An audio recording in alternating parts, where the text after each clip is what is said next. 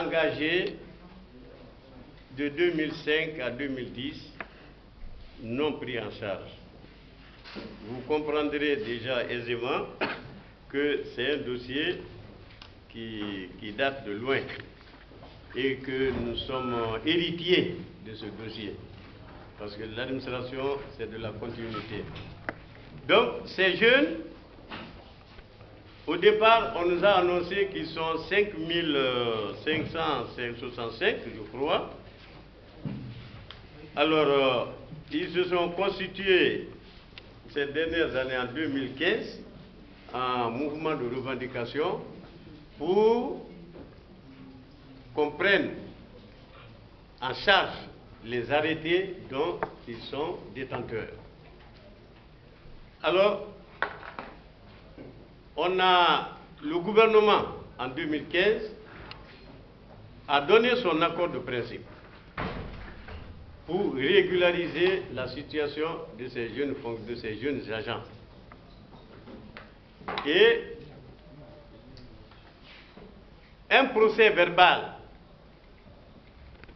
a été rédigé et adopté entre le gouvernement et les représentants des différents collectifs constitués par les jeunes concernés.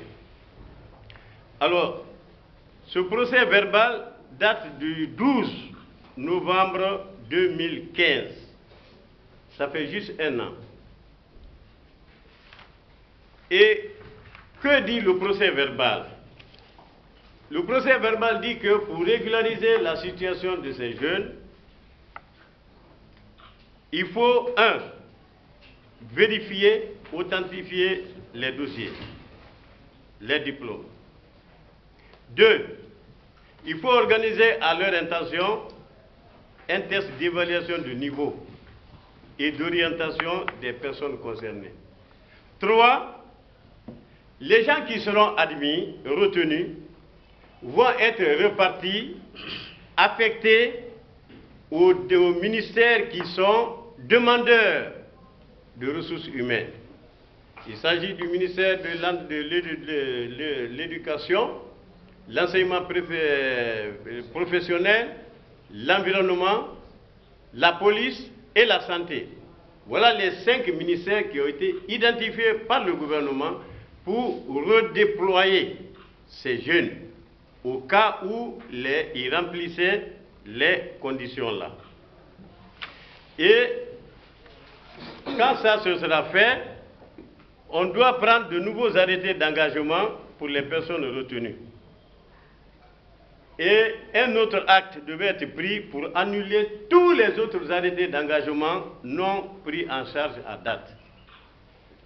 Et la dernière euh, recommandation, c'est la prise en charge financière de tous les arrêtés à partir de, euh, au courant de l'exercice budgétaire 2016. Alors, pour appliquer les dispositions, les recommandations de ce procès verbal, nous avons mis en place au niveau de la fonction publique un, un comité, une commission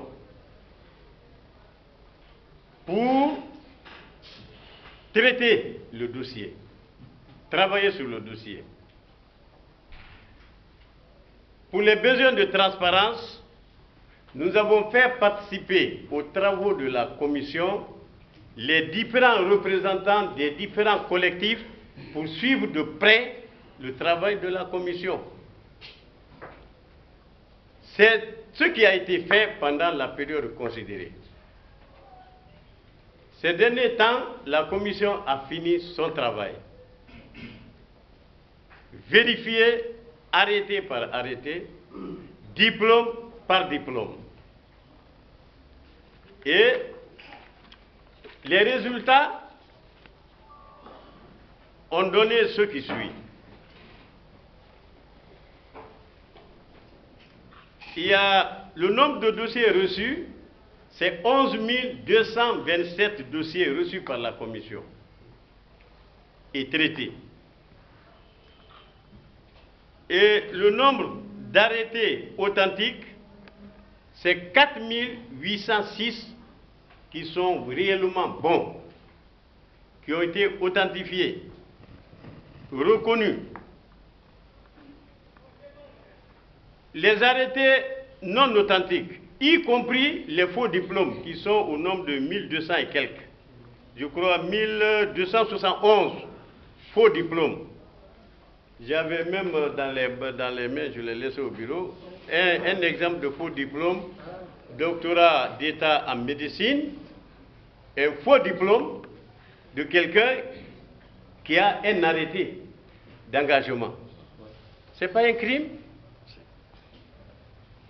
Alors, donc, nous avons d'un côté un groupe de jeunes, ils sont au nombre de 6421 détenteurs de faux, faux dossiers, un autre jeune de, groupe de jeunes qui ont les arrêtés authentiques 4806.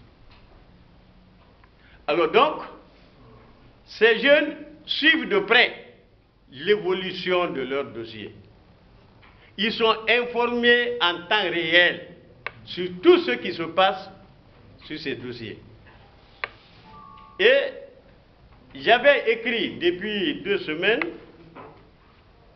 au secrétariat général du gouvernement pour transmettre les dossiers pour que ça soit inscrit à l'ordre du jour du Conseil interministériel.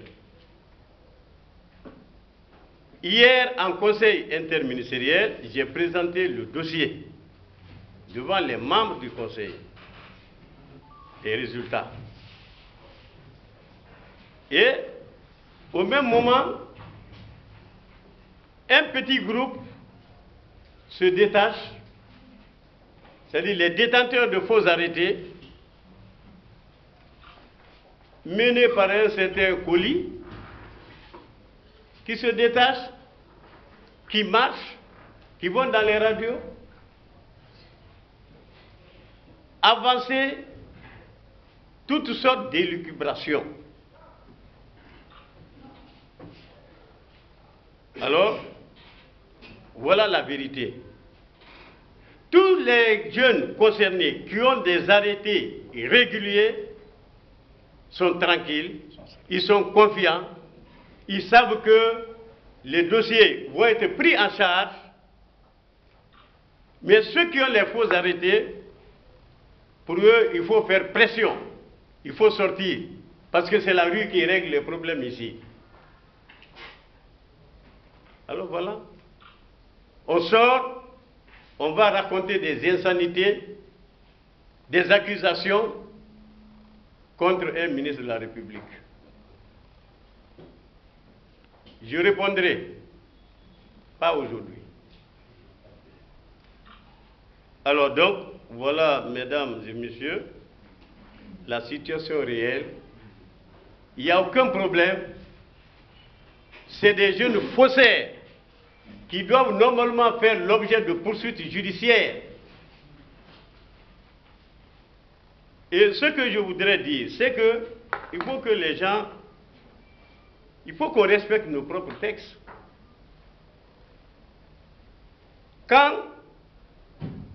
un candidat à un concours de recrutement va, vient à la fonction publique, donner de l'argent à un cadre de la fonction publique, pour dire, je vous donne ça.